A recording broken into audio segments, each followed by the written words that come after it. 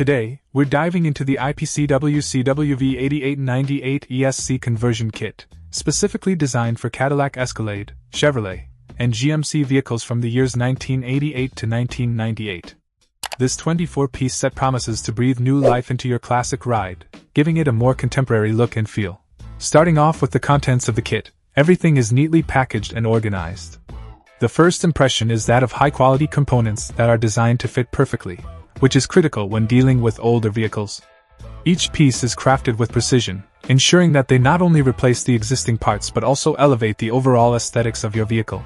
Installation of the kit can be a bit challenging if you're not familiar with automotive modifications.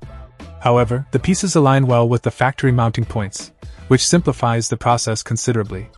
It's impressive how the designers have managed to ensure that each part complements the structure and design of the vehicles from this era. From new lights to grille inserts, every component integrates smoothly without disrupting the classic lines of your vehicle. Point one of the standout features of the IPCW CWV8898 ESC conversion kit is its ability to update the look of your vehicle without overdoing it.